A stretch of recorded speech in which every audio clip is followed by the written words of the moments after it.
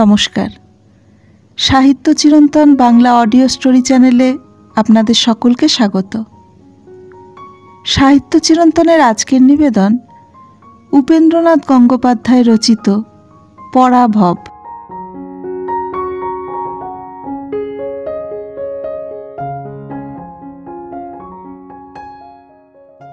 বালিগঞ্জে প্রিয়শঙ্কর মুখোপাধ্যায়ের বৃহৎ অট্টালিকা। রাজশাহী জেলায় বিস্তৃত জমিদারির ইনি মালিক। বিলেত থেকে পাশ করে এসে বছর তিন চার কলিকাতা হাইকোর্টে ব্যারিস্টারি করেছিলেন। তারপর দার্জিলিংয়ে ঘোড়া থেকে পড়ে চিরদিনের মতো একটি পা নষ্ট হয়ে সুদীর্ঘকাল পঙ্গুর জীবনযাপন করছেন। লাঠিতে ভর দিয়ে পঙ্গু দেহটা কোনো রকমে চলছিল। কিন্তু বছর দশেক পরে দুদিনের অসুখে স্ত্রী যখন ইহলোক পরিত্যাগ করে গেলেন, তখন মনটাও পঙ্গু হয়ে গেল। সে বিকলতার লাঠির ব্যবস্থা করতে আর প্রবৃত্তি হলো না। কিছুকাল পরে শোকটা কতক সহজ হয়ে এলে, সমস্ত মনটা পড়ল পুত্র বিনয় এবং কন্যা মায়াকে মানুষ করে তোলবার দিকে। মায়াকে সৎপাত্রে অর্পণ করে তার বিষয়ে নিশ্চিত হয়েছেন। সে থাকে লাহোরে তার স্বামীর কাছে। নিজের জীবনে যে শখটা অপূর্ণ রয়ে গেছে, পুত্রের জীবনে সেটা মেটাবার উদ্দেশ্যে তাকে বিলেত পাঠিয়েছেন ব্যারিস্টারি পাশ করে আসবার জন্য। বিনয়ের দেশে ফিরে আসবার সময় নিকটবর্তী হয়েছে। একতলার বারান্দায় একটা আরাম কেদারায় শুয়ে প্রিয়শঙ্কর একটা দৈনিক খবরের কাগজ উল্টে পাল্টে দেখছিলেন আর বারংবার উদ্বিগ্ন নেত্রে গেটের দিকে দৃষ্টিপাত করছিলেন। মনটা যে একটা কিছুর প্রত্যাশায় চঞ্চল ছিল তা শুধু আকৃতি থেকে নয় খবরের কাগজের পাতা উল্টানো থেকেও বোঝা যাচ্ছিল। উষা একটি আঠারো উনিশ বছরের সুন্দরী তরুণী পিছন দিকে চেয়ারে বসে প্রিয়শঙ্করের মাথায় ধীরে ধীরে হাত বুলিয়ে দিচ্ছিল। ব্যগ্রভাবে একটু মুখ বাড়িয়ে বললে বাবা? কই এখনও তো দেবী সিং এলো না? বিলেতের ডাক কাল আসবার কথা আজ এখনও এলো না। কিছু তো বুঝতে পারছি না মা। উষা বললে বিলেতের চিঠি না থাকলেও অন্য চিঠি তো থাকবেই। দেবী সিং না ফেরা পর্যন্ত আপনি ব্যস্ত হবেন না বাবা। তাছাড়া কাকার কাছ থেকে এই মেলে আমার চিঠি নিশ্চয়ই আসবে। এই আশ্বাসে কতকটা আশ্বস্ত হয়ে প্রিয়শঙ্কর পুনরায় খবরের কাগজের পাতা উল্টাতে আরম্ভ করলেন। উষাও তার পূর্ব কাজে মন দিল। এই উষা মেয়েটি প্রিয়শঙ্করের আত্মীয়াও নয়, আশ্রিতাও নয়। বছরখানেক আগে প্রিয়শঙ্করের এক বন্ধু সপরিবারে বিলেত যাবার সময় এই মেয়েটিকে প্রিয়শঙ্করের কাছে এনে বলেছিলেন, ভাই প্রিয় মাস্টারেকের জন্য তোমাকে এই ভারটি দিয়ে গেলাম। এটি আমার ভাইজি চার মাস পরে বিয়ে পরীক্ষা হয়ে গেলে একে বিলেতে পাঠিয়ে দিও। প্রিয়শঙ্কর স্বীকৃত হয়েছিলেন। কিন্তু একটি সুন্দরী, অনুরা বয়স্কা মেয়েকে স্ত্রীলোকবর্জিত সংসারে স্থান দেওয়া ভার বলেই তাঁর সেদিন মনে হয়েছিল। পরীক্ষার দু তিন মাস পরে যখন উষাকে বিলেত পাঠিয়ে দেবার জন্য অনুরোধপত্র এলো, তখন কিন্তু উত্তরে প্রিয়শঙ্কর লিখলেন, তুমি আমার বন্ধুই বটে খোঁড়া মানুষকে লাঠি দিয়ে তারপর কেড়ে নিতে চাও? উষাকে রেখে যাবার সময় তুমি বলেছিলে, ভার দিয়ে গেলাম। কিন্তু ঠিক উল্টো, এই চার পাঁচ মাসে সে আমার সমস্ত ভার হরণ করেছে। এমনকি আমার অভিশপ্ত জীবনের ট্রেডমার্ক কাঠের ক্রাচটা পর্যন্ত। সেটা অকেজো হয়ে পড়ে থাকে। আর উষা আমার বাঁ হাত ধরে আমাকে সমস্ত কম্পাউন্ডটা ঘুরিয়ে নিয়ে বেড়ায়। আর তুমি লেখো কিনা উষাকে পাঠিয়ে দাও। উষা তোমার পক্ষে তাঁবাদি হয়ে গেছে। অন্তত তোমার দেশে ফেরা পর্যন্ত। বাবা দেবী সিং আসছে।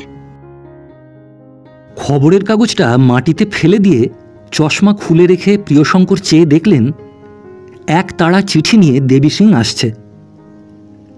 চিঠিগুলো হাতে নিয়ে চশমা পরে এক এক করে দেখতে দেখতে প্রিয়শঙ্কর বললেন, এই যে বিনুর চিঠি এসেছে।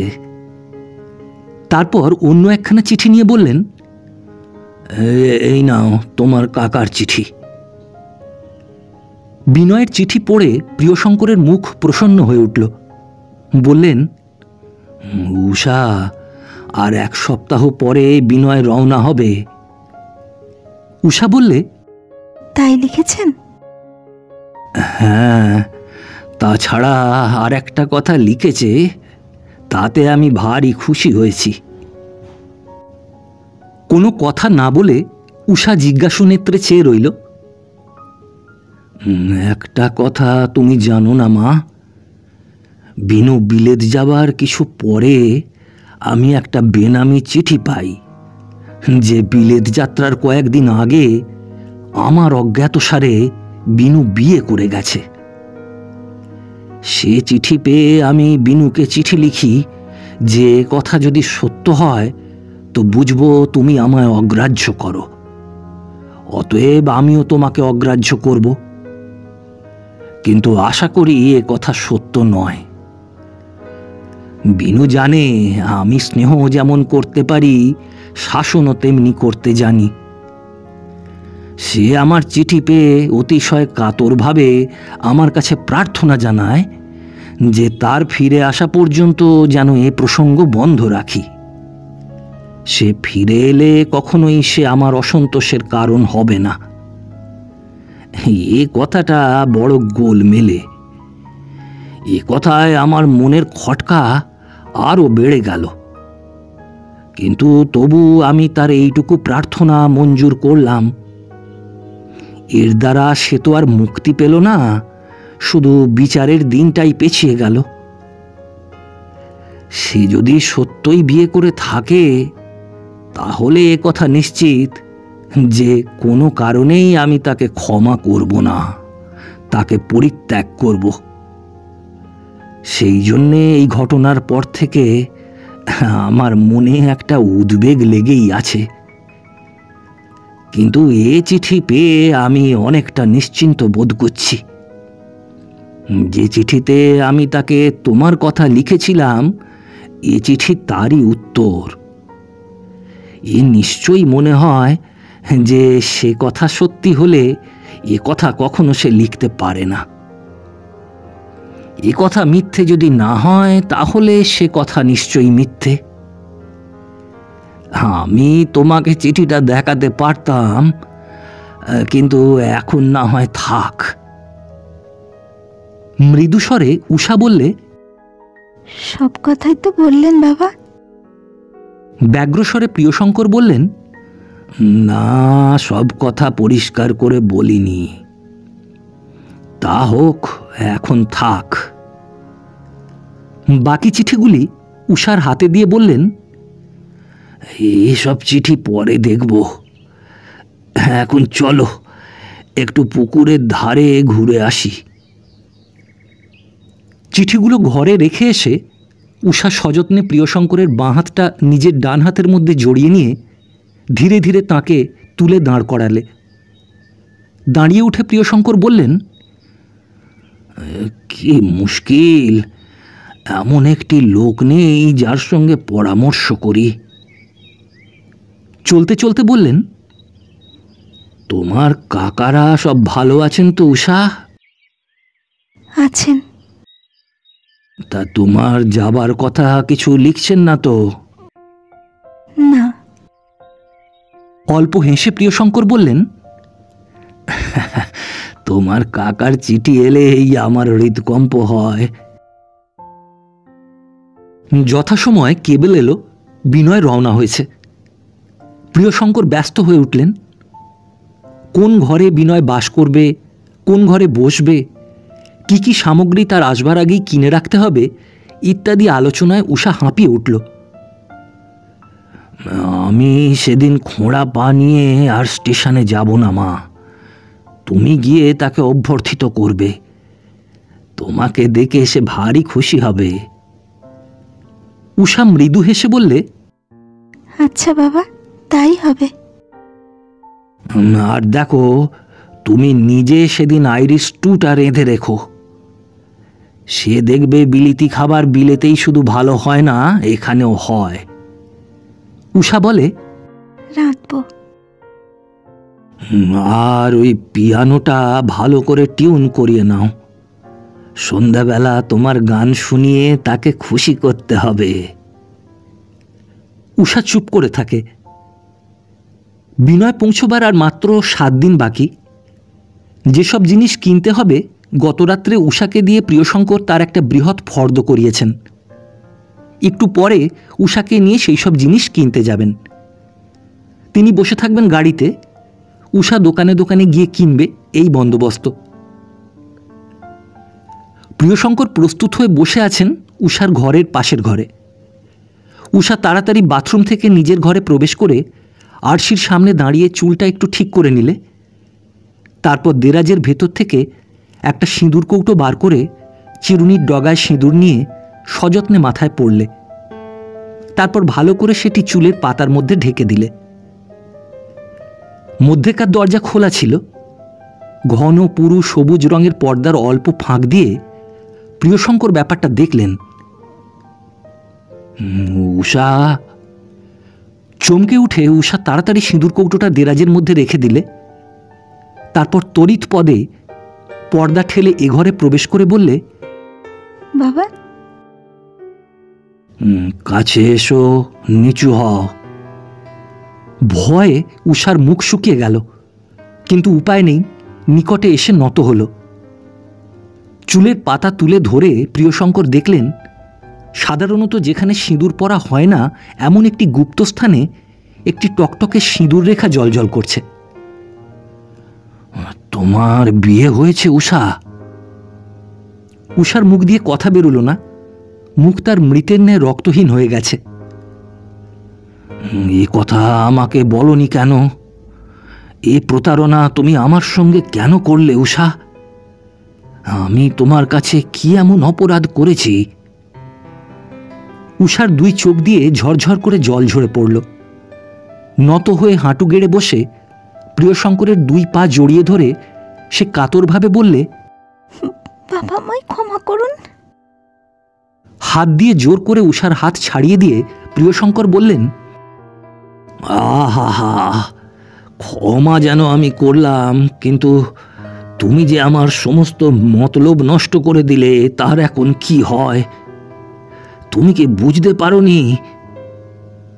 তারপর যা বলতে যাচ্ছিলেন, তা বন্ধ করে বললেন, যাক, সে কথা যাক। তুমি তো ক্ষমা চেয়ে খালাস হলে। সে ছেলেটাও এসে হয়তো বলবে, আমি বিয়ে করেছি, ক্ষমা করো বাবা। খানিক্ষণ অত্যন্ত বিকৃত মুখে বসে থেকে বললেন, এখন বিনুর আসার কথা মাথায় উঠল। তোমার ব্যবস্থা কি করব তাই হলো ভাবনা। তোমার তো এ পুরুষের বাড়িতে থাকার চলে না, বিশেষত বিনু আসার পর। তোমাকে এই সপ্তাহেই বিলেত পাঠিয়ে দিই। প্রিয়শঙ্করকে নিরস্ত করতে উষা অনেক চেষ্টা করলে, কিন্তু কোনো ফল হলো না। অগত্যা স্থির হলো, উপস্থিত উষা বোম্বাইয়ে তার এক আত্মীয়ের গৃহে গিয়ে উঠবে। তারপর সেখান থেকে সুবিধা মতো প্যাসেজ বুক করে বিলেত যাত্রা করবে।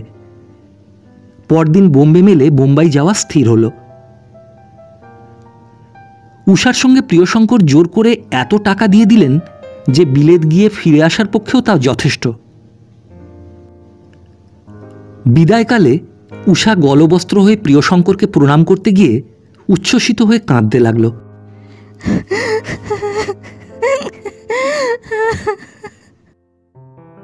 স্খলিত কণ্ঠে প্রিয়শঙ্কর বললেন উষা আমার ক্রাচটা হ্যাঁ এখন থেকে তো আবার দরকার হবে।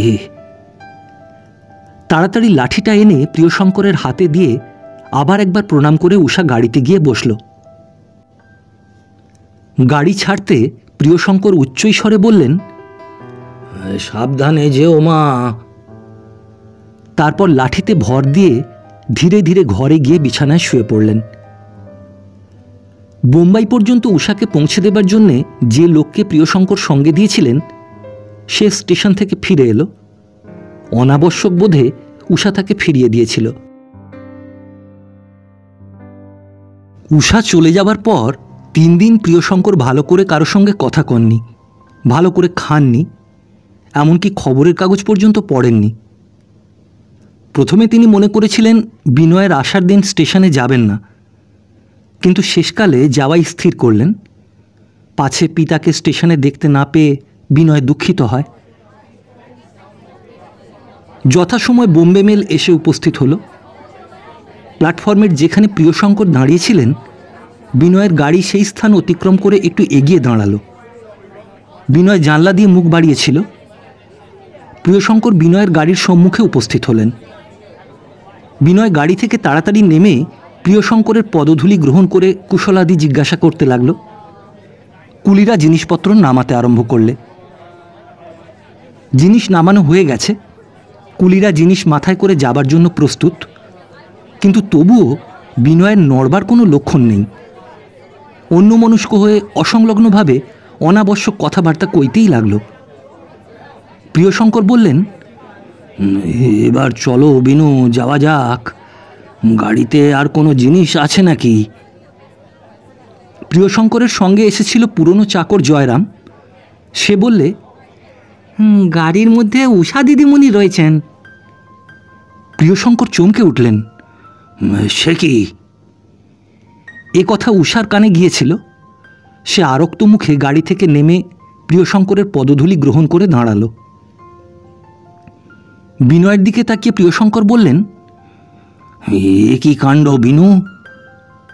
সভয়ে বিনয় বললে বাবা, আমাকে ক্ষমা করুন। উষা আপনার পুত্রবধূ। শূন্য বিহবল দৃষ্টিতে প্রিয়শঙ্কর ক্ষণকাল নিঃশব্দে তাকিয়ে রইলেন।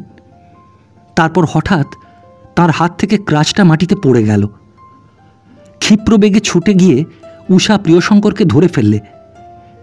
পর মুহূর্তে দেখা গেল উষার বাহুতে ভর দিয়ে প্রিয়শঙ্কর তার মোটরের দিকে অগ্রসর হচ্ছেন।